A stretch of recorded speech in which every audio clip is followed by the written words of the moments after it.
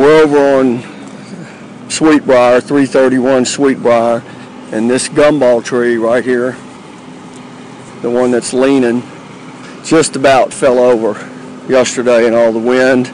It got pushed over earlier a couple of days ago in a storm. You can see where the ground is lifting. And I mean, yesterday we thought it was going to fall over and kill somebody when it went across Sweetbriar. And Sale and I came over here put about 22, 24,000 pounds worth of ropes on it to help, help hold it.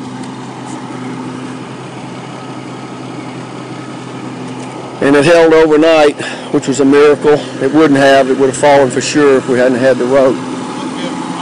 Huh? Yeah.